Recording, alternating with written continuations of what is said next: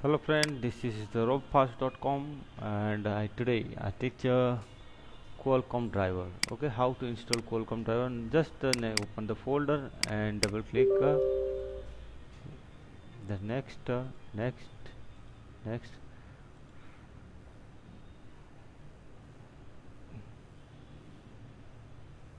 Finish it okay friend the Qualcomm driver installation complete. Uh, well this Qualcomm platform in uh, Micromax Lenovo uh, majority MI MI is the only Qualcomm platform.